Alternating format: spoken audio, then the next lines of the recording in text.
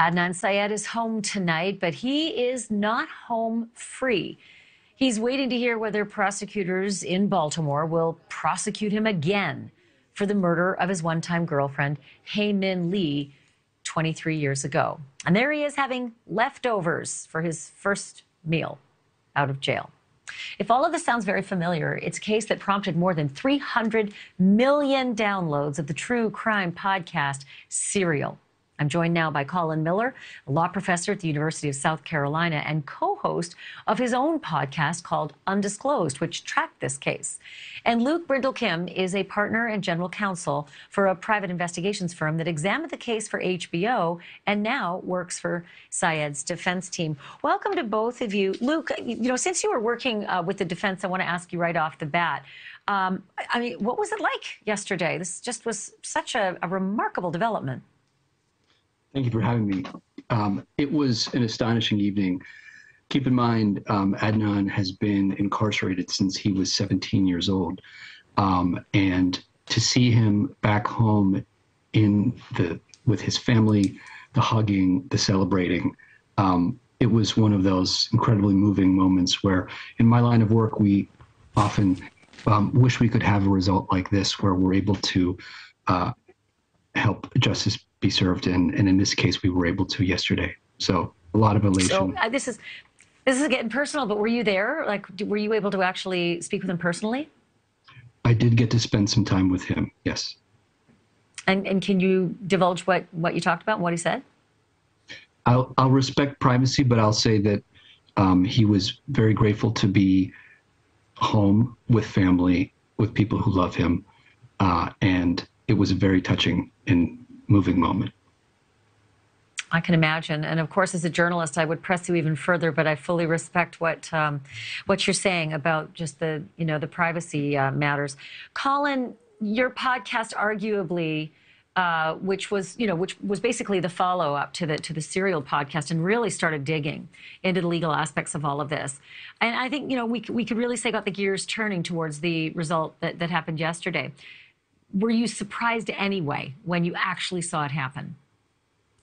I wasn't surprised about the judge's ruling yesterday. The big surprise was last week when we all heard the prosecution and defense filed a joint motion to vacate this, both sides saying there's not integrity in this conviction. And so to hear the same office that prosecuted it on all those years ago now coming in and saying we don't stand by that conviction anymore, that's pretty powerful. Yeah, it's almost like I had to reread it. Um, you don't usually see the prosecutors coming in and asking for the, you know, a, a, a conviction to be vacated. It's usually the other side arguing for their, you know, their client. But you know, it, the whole story is just nuts when you when you look at it especially in hindsight and from 30,000 feet.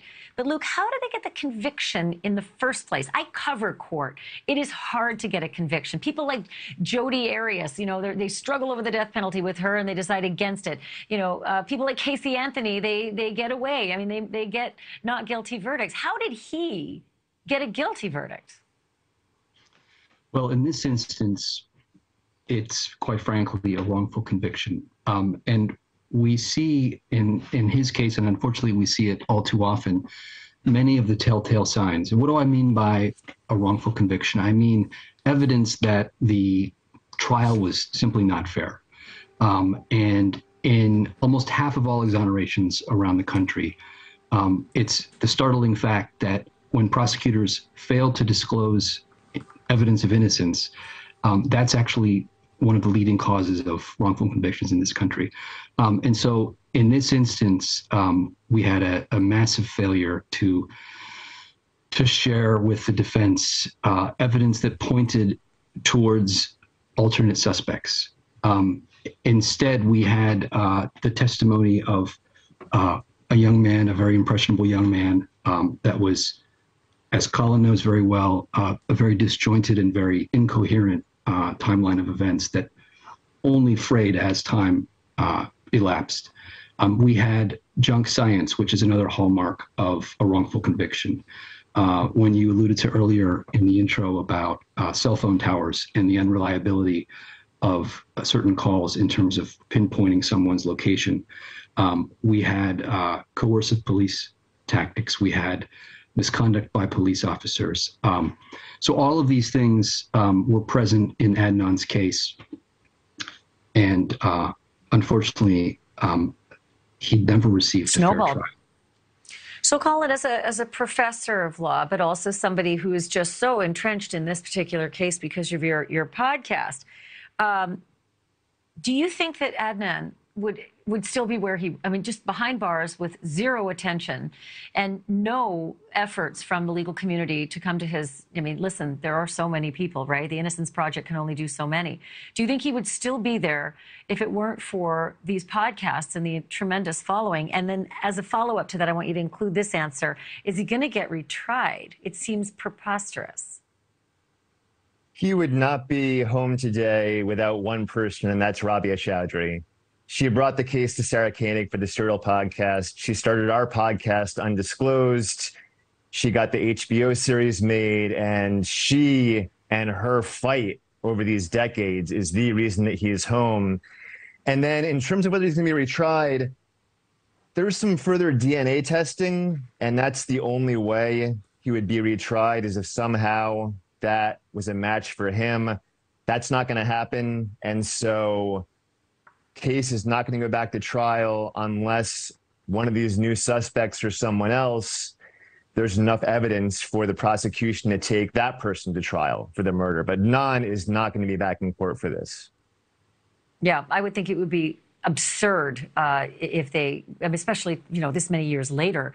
It is so hard to prosecute a case that's contemporary, let alone a case that's decades old. You know, memories fade, people die, evidence disappears, and it's just harder and harder. So, Luke, to, to that um, notion, Sarah Koenig's uh, podcast, of course. Serial was just so remarkable. 300 million downloads. It's the highest downloaded podcast of all time, I think was at one point anyway. Um, and she released her first new episode of the podcast in eight years. Um, says she knows who the suspects actually are. I just want to play a quick uh, clip from it. Have a listen. One of them was investigated at the time, submitted to a couple of polygraphs. The other was investigated also, but not with much vigor, as far as I can tell. He's now in prison for sexual assault. But no one has charged either of these guys in connection with Hae Min Lee's murder, so I'm not going to name them either. So, Luke, we're not going to either, and I don't want you to either. It's not right to do that for people who aren't charged. But um, what do we know about these two people? And not only that, uh, do we have motive that they might have had? Well, thank you for not forcing me to identify uh, the alternate suspects. I think, look, it doesn't matter that that I know who they are. It's not my place to identify them. Um, the that will happen another day. Um, but what's important here is that the state knows who they are, and the state has known who they are for 23 years. Um, the bombshell uh, in this case was uh, doc- documents within the prosecutor's own file that laid out in some detail uh, reasons uh, why Adnan was not guilty, and in fact pointed the finger um, very firmly in a different direction. Um, so that's the key fact here. I do want to also state that this has been a case um, that has had tremendous uh, attention, and um, there have been many important champions for Adnan. I do think uh, it's important to note that the current counsel, Erica Suter, has um, valiantly reinvestigated um, the new aspects of this case, uh, and combined with all of the support from the entire community uh, that has been supporting Adnan, um, we're in this place where we are today. It's just astounding, so unbelievable. I, I, I have to say, hearing about the hearing yesterday, I thought, well, they won't make a decision right then and there, and they did, and there he is. It's just so remarkable. We'll have to have you back because clearly the story is not over, the case is not over.